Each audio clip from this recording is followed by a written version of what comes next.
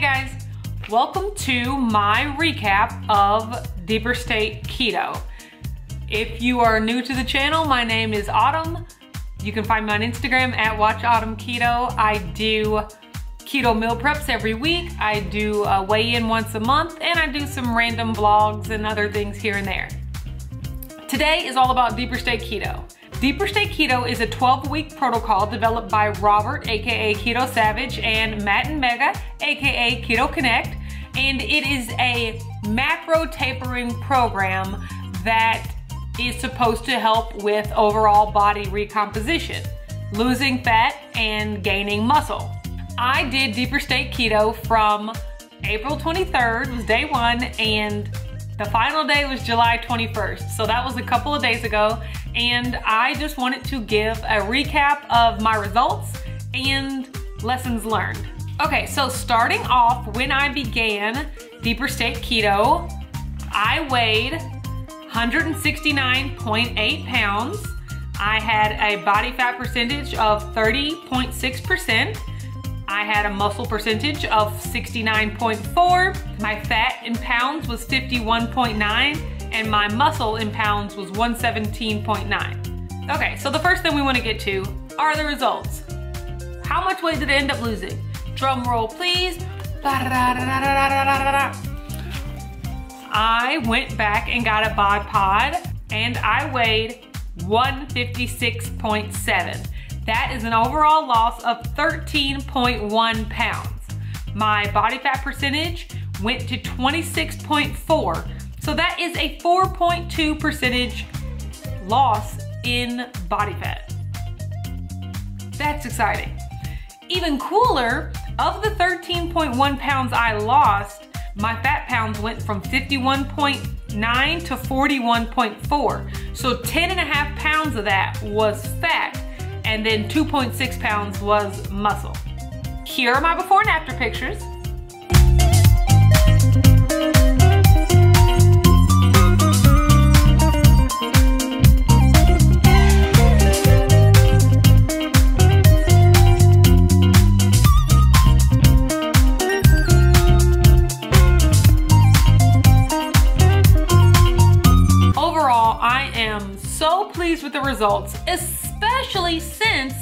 If you follow me on this channel and or Instagram, you will know that I was unable to follow the plan 100% completely. I did not do every single thing I was supposed to do for all 90 days. I had some stuff come up in the middle. I had a work conference. It was my birthday in there. There were some things that definitely derailed me, but I always got back to the plan as quickly as I could and it yielded me good results even then. Okay, so now I wanna talk about the four main takeaways that I have from the plan. Number one, lower carb equals better feeling. That's just what it comes down to. Uh, one of the big challenges of the plan was that normally on the keto diet, we're used to eating around 20 net carbs. Well, the Deeper State Keto Protocol had you at 10 total carbs the whole time. Up until that point, it was just such a foreign concept for me. I was living off of Atkins bars, occasional Quest bar, desserts sweetened with erythritol. None of that was on the table since you could only have 10 total carbs.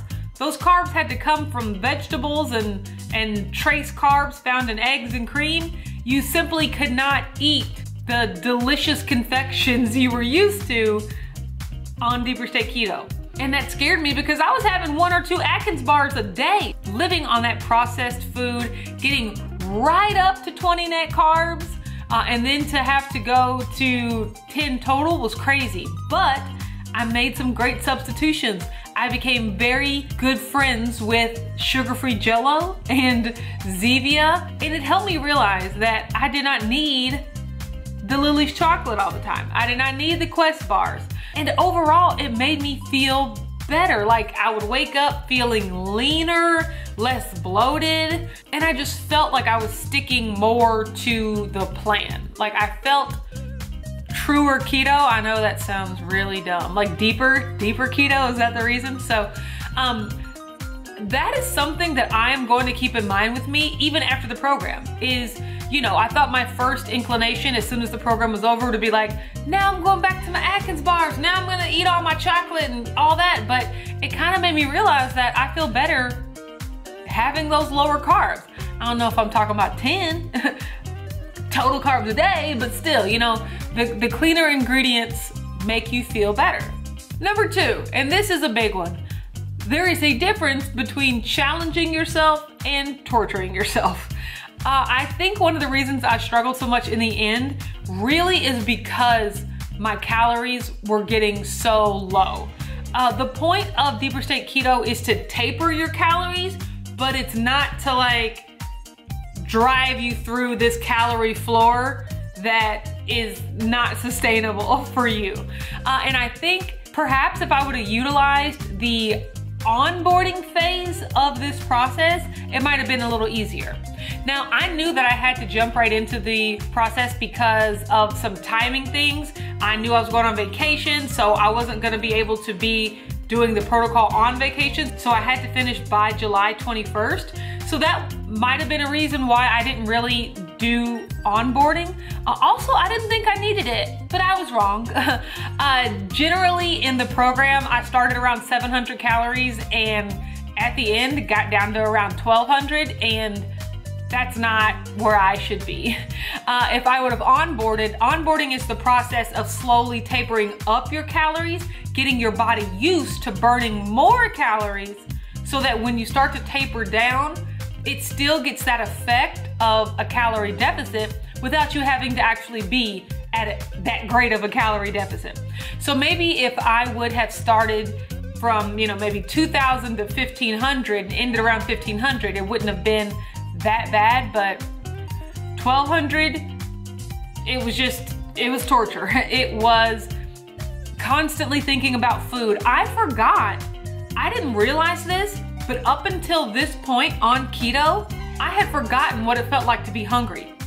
Isn't that revolutionary? Like I've lost over 70 pounds and I did not feel hungry the entire time. And the reason that I realized I did not feel hungry is because on Deeper State Keto, I was hungry. I was like, why is all I can think about food? Where's, I need more food. I would eat a meal and immediately realize that wasn't enough food and immediately be aware of how much more food I wish I was having. And when my calories were getting that low, so was my impulse control. That some of those days were just unscheduled grab and stuff your face fest because at a certain point, I was just tired of feeling hungry. And maybe if I was at 1500 calories instead of 1200 calories, I wouldn't have had that feeling and I would not have taken those actions. Great lesson learned.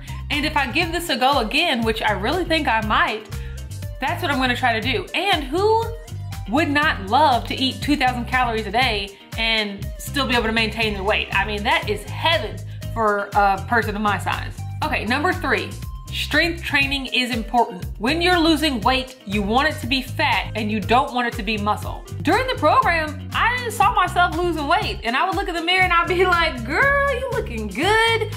But I would also feel myself getting weaker, like actually weaker, whether it was bringing groceries in from the grocery store or, you know, helping my mom move a piece of furniture. I was like, I am weak. like when you lose weight, muscle goes along with that. So one of the things I really liked about the program is how it emphasized strength training.